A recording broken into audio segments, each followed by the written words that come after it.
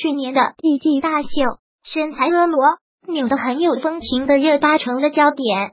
今年以品牌大使身份再登时装周舞台为 DMG 走秀，但因为种种因素，风头却被泰国的流量小花 My Vika 抢了去。对比去年，今年热巴的造型有些粗糙，不能展现她的身材和颜值优势。其次，她今年也走的有点着急，被调侃像在赶集。而泰国流量小花 My 刚好相反，造型犀利时髦，和她的气质很相称。台步稳健，气场强大，引得吃瓜群众一片喝彩。其实热巴和混血的妈是有很多相似之处的美人，两位都是五官立体浓烈、身材凹凸有致的明艳美女。正常水准之下，两位同台争艳一定是绝美的。但这次因为造型粗糙、台步等原因，热巴却惜败给了 My。通台走秀，热巴惜败。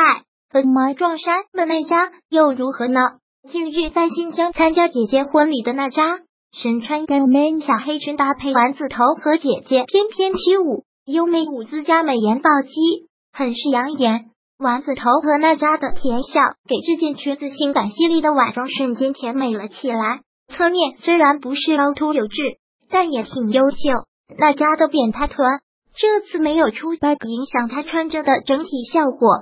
这次的时装周的 Man 大秀，妈也选了同款小黑裙，直发小烟熏，夸张大耳饰，又酷又时髦，和娜扎的甜美感是两种完全不同的气质风格。